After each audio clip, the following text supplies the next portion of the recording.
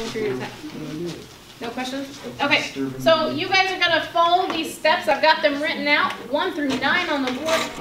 What gets me through my eight hours of a school day? That's a good question.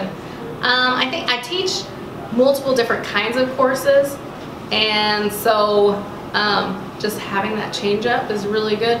I teach a lot of variety of students, and uh, most of the time they come in ready to go and just have kind of a relaxed atmosphere, and so just kind of a fun time to get things done.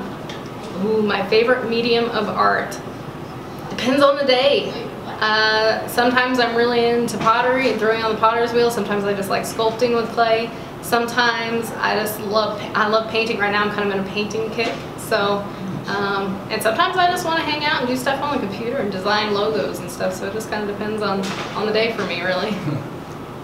Well, actually, I'm kind of loud.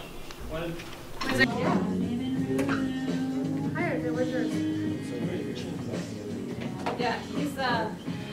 Yeah, okay, so what kind of people do I like painting and why do I like painting people? Um, well, landscapes to me are a little bit boring in that um, I think there's too many rules that you have to follow with that. There's rules that you have to follow with portraiture too, but I like the emotion that you can get from painting a person and the style that you can paint it also kind of uh, relates back to that emotion.